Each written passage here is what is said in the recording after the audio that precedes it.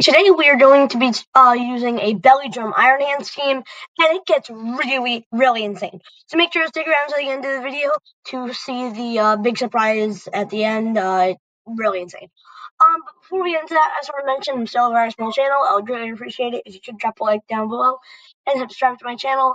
And um, if you have any suggestions to add to this team and like what to remove to replace what you want to add to this team, I will happily take any suggestions you have. And um, so yeah, just you know, you can help influence this and you can help change this team for the better that I'm going to be making my next couple of videos around. Let's just get into it. Um, first of all, the star of this team, we have Belly Drum Iron Hands.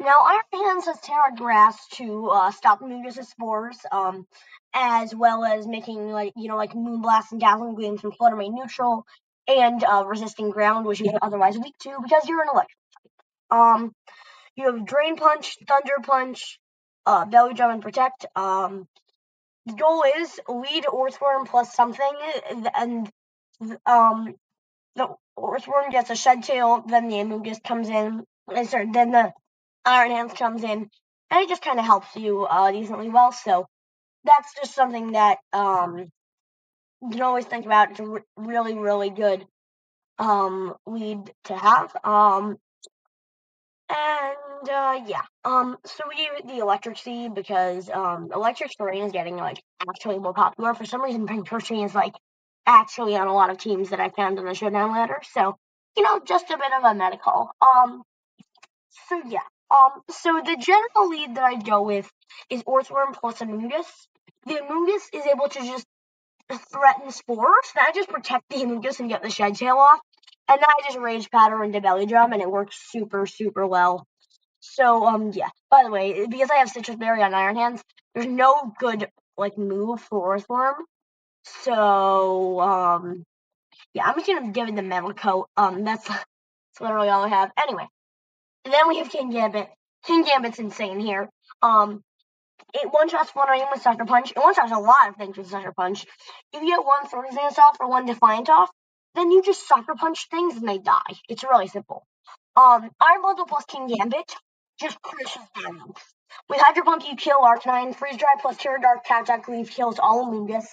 Um, your Freeze Dry plus uh, Sucker Punch 100% one shots all Flutter Mane unless they're really bulky. So th- this this duo just and then uh, freeze dry two shots Palafin.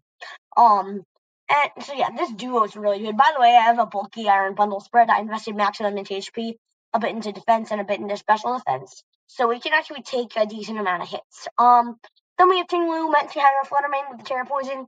You one shot Flutter Mane with Heavy Slam. You one shot Chu with Stomping Tantrum. You have Earthquake to help heal up the Orthworm. Um, you have, and as I said, you have Mudas, you have Rage Powder, Pollen Puff, Protect. Pretty simple. And, um, yeah, let's just, um, get into the battle. Um, okay, so it's gonna be this one, uh, switch sides, and yeah, let's just start. So they all lead off with a bomb plus Iron Bundle. This is the Blizzard strategy. I'm probably going to be going into this in a future video. You just spam blizzards and you have a 40% chance to freeze something each turn. Um, the Hydro Pump goes off, preventing me from doing Shed Tail. But then I just sport Bundle. And then I switch into Iron Hands. That this is like switching into Iron Hands was like an insane play here. They do go for Blizzard, which does a very good chunk. Um, I just switch into Kingambit here. Um, because Sucker Punch just decent damage to Abomasnow. And I um had the Sitrus Berry, which I, I I didn't have Sitrus Berry, I would not have tanked that critical hit. So um Sitrus Berry was important there. Um if they'd woken up there, it would have, I would have um just lost, but I got the drain punch off and it did really well. And then they hit a blizzard, they brought in Iron Hands. I protected because I knew I thought they were gonna go for fake out. They didn't.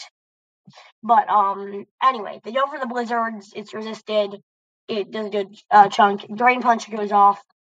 Um, Snow stops, so they try to switch it in. They bring in Pincurchin. As I said, Pincurchin, Pincurchin's like everywhere now. It activates both of our Quark Drives, which I think was what allowed me to one shot them with Drain Punch. Um, so that was helpful.